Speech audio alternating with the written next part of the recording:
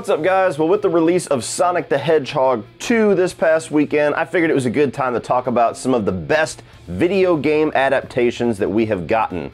And then I started to sit down and go, is there even 10 good ones? Yeah, so it's no secret to anybody that video game adaptations have not had uh, the best track record in the movie world. Uh, we have yet to really have the first great one. We've had some good ones, we've had some very solid ones, but we have not had one that's like transcended all of the other ones that have come before. We haven't had that Batman Begins or that X Men 2000 or that Spider Man, Sam Raimi. Like, we haven't had one that's like, holy shit, this changes everything about what we thought this could be. But I feel like it's on the horizon. And if it's not video game movies, I feel like, if nothing else, The Last of Us TV series that we're getting next year on HBO is going to change the landscape. And they're going to start looking at these video game properties and go, you know what?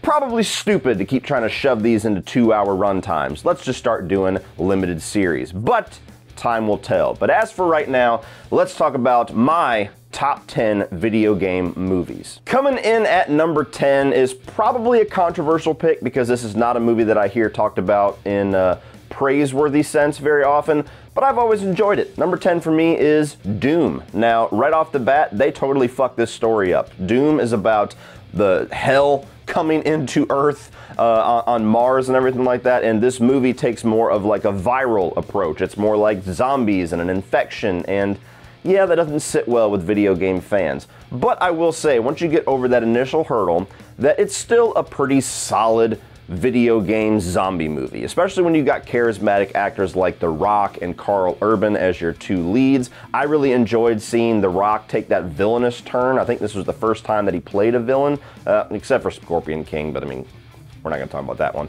But I really still dig this movie. You know, it's not great, it's not awesome cinema, it's not a movie that I rewatch all that often, but if I want a very video game styled zombie movie, I think that this one gets more right than it does wrong. And there's actually a pretty badass little first person shooter sequence that uh, it's the only time I've seen that done really well in a movie, and it's been years since this came out. Number nine, going back to The Rock with Rampage. Now, this is a arcade game that I grew up playing.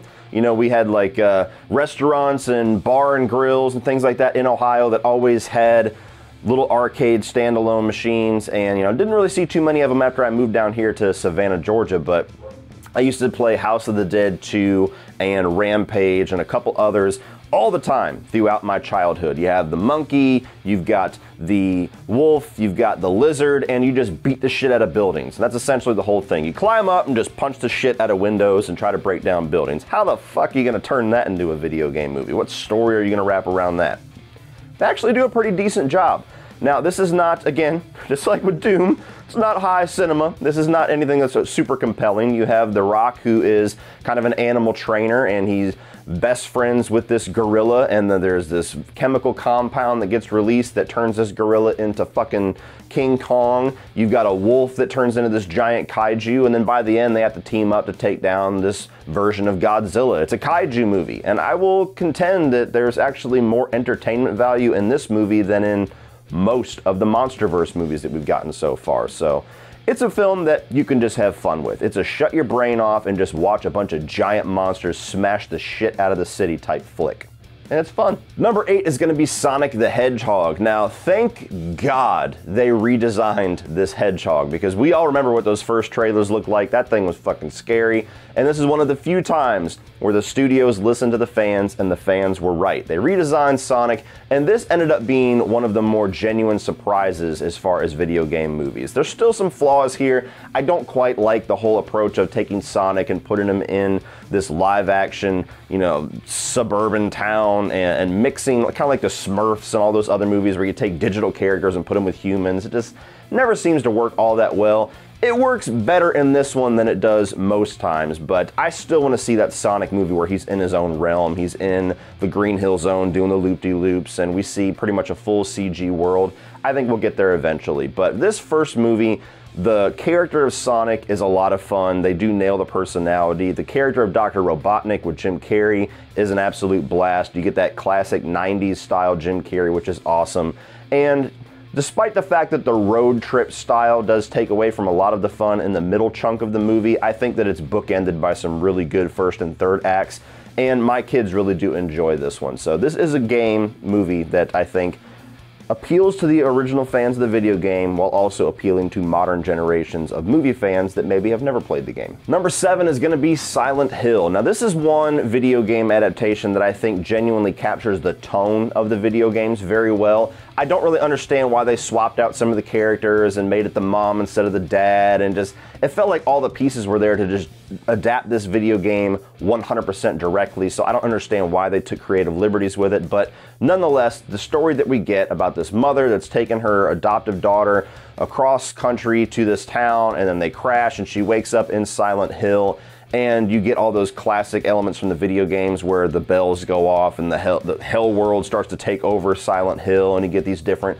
demonic entities, and all the creature designs were really good. P- pyramid heads in here for the first game instead of the second movie, so it's a video game movie that I think gets a lot right.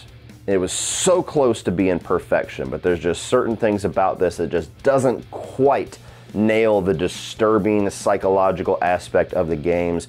And there's still, like I already said, a little bit of annoyance for me, and I think a lot of video game fans where they just decided to change shit for the sake of it and I think they could have just done a direct adaptation. You had Sean Bean, just make Sean Bean the head of this movie. Change for change's sake never really goes down well for me. Number six for me is by far the best of the Paul W.S. Anderson Resident Evil films, and that is Resident Evil Apocalypse. Now, I still contend that this is a pretty damn good movie. I know that his entire franchise, his entire interpretation of Resident Evil is shit on way more than it's praised, but for the entertainment value that his movies do provide, I think that this movie provides the most entertainment value, and I think it's the one that's the closest to the video games that it's trying to adapt. This one is kind of taking Resident Evil 2 and Resident Evil 3 Nemesis and making one big movie out of it, and I think it succeeds pretty well. I think that Alice coming back as this more superhuman character it makes her a more interesting presence in the movie than she was in the first film.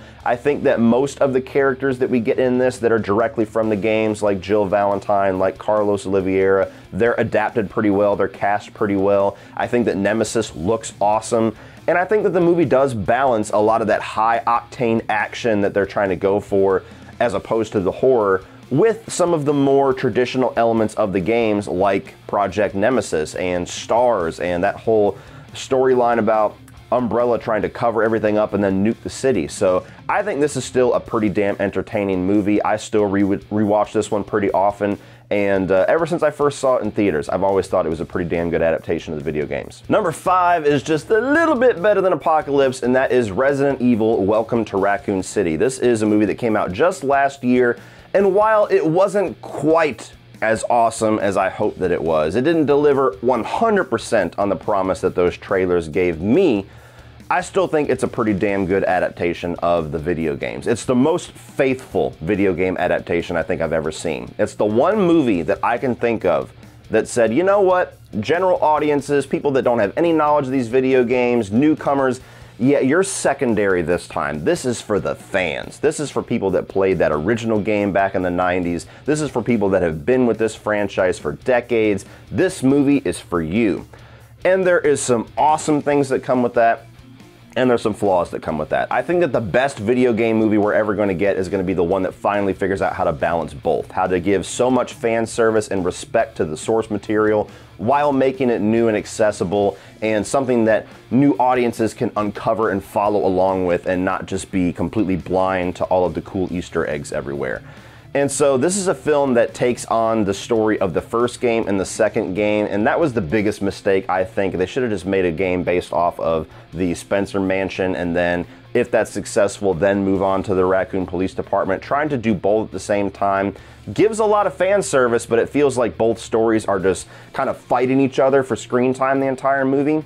Beyond that, I like the casting of pretty much everybody in this movie for the most part. Some of them are absolutely perfect, some of them could have been better, but they still serve the characters pretty well. A lot of the creature designs, they're heavily CGI'd, but they're satisfying. You know, they're not something that looks terrible. You know, the, the, the big gigantic monster that comes out of Birkin at the end is about the farthest you can get from being awesome looking CGI, but everything else, the dogs, the lickers, they all look pretty good.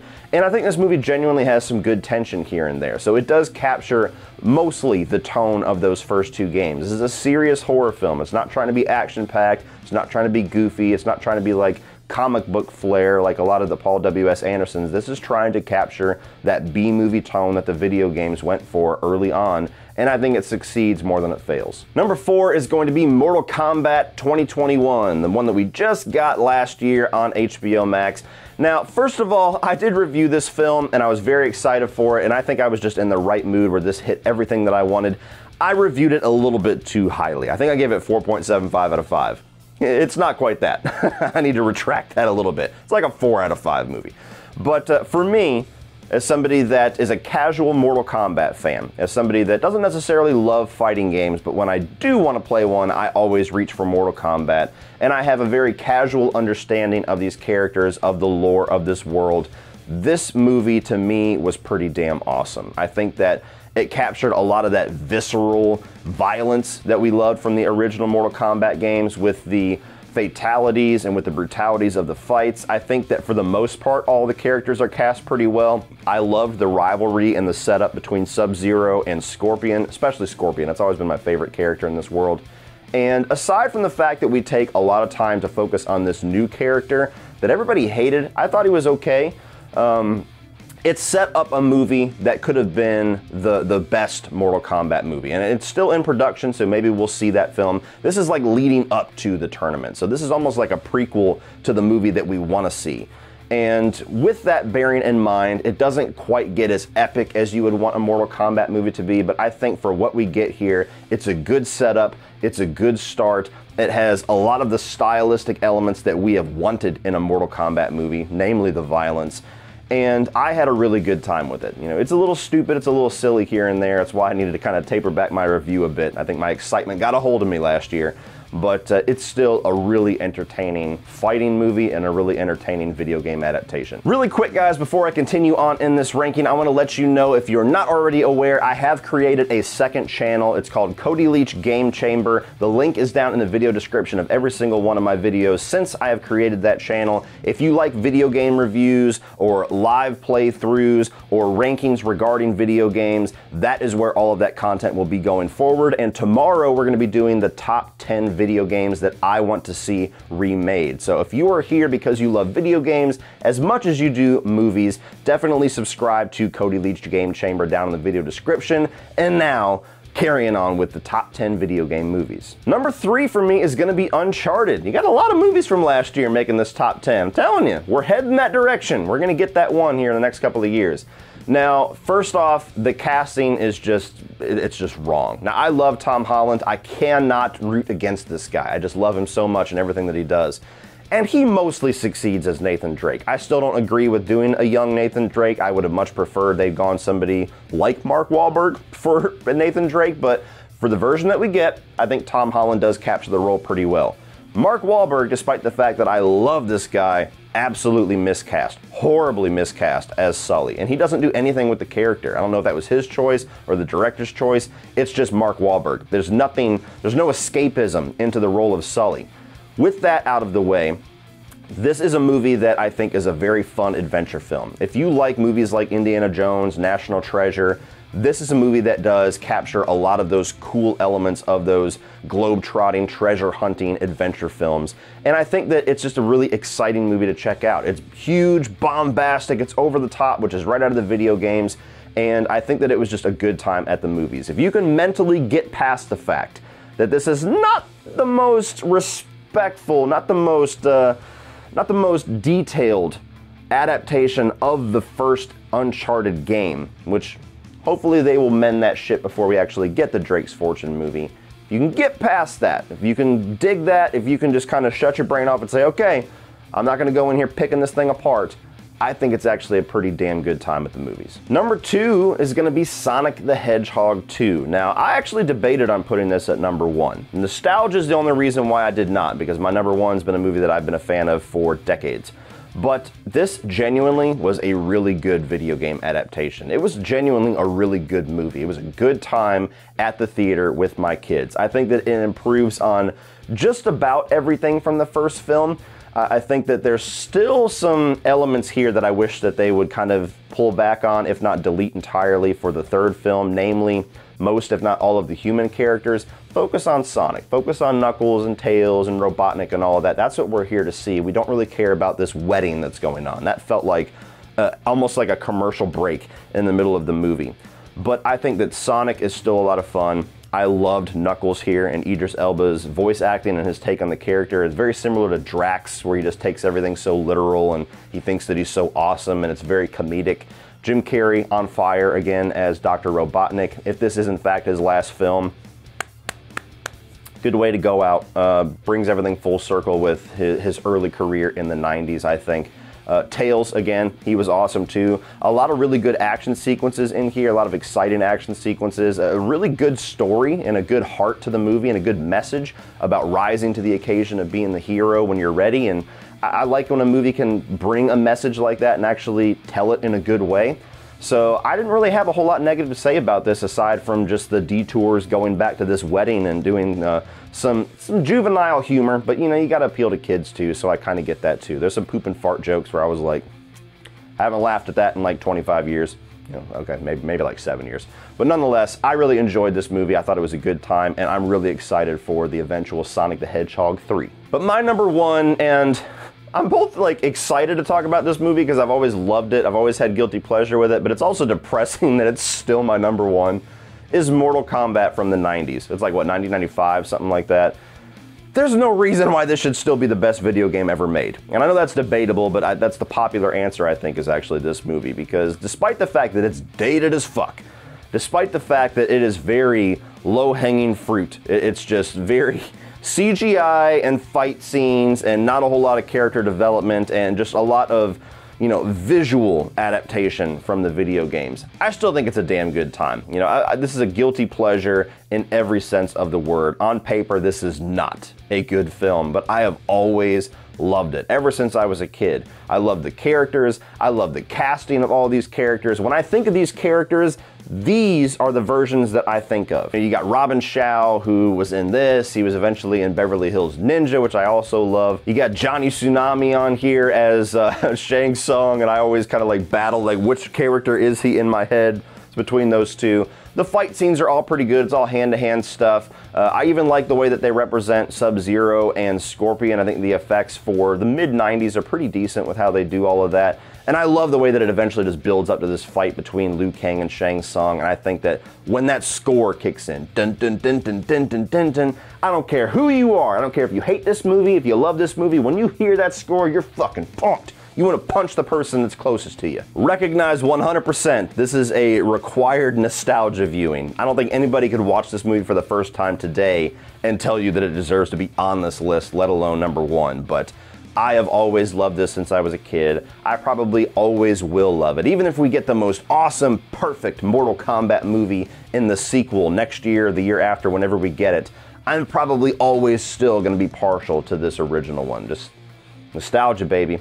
It's a powerful thing. So what do you guys think? What are your top 10 video game movies? Now, I'm sure our top fives are probably gonna be pretty similar, but the bottom fives are, it's probably gonna be a toss up. You're gonna get some odd ones in here. You're gonna get some Tomb Raider movies. You're probably gonna get a couple of Uwe Boll movies for some crazy people. Who knows? We're gonna get wild down in the comments section. So let me know what your top 10 is. If you guys enjoyed this video, not only like and share and subscribe on this channel, but be sure to check out the video description for the link to my other channel, Cody Leach Game Chamber, because tomorrow we're gonna be talking about top 10 video games that I want to see a remake of. All of my video game content is on that channel going forward, so if you're a fan of video games especially, go subscribe to that channel, please. Thank you guys for watching, as always, and remember, opinions are like assholes, but that doesn't mean that you have to be.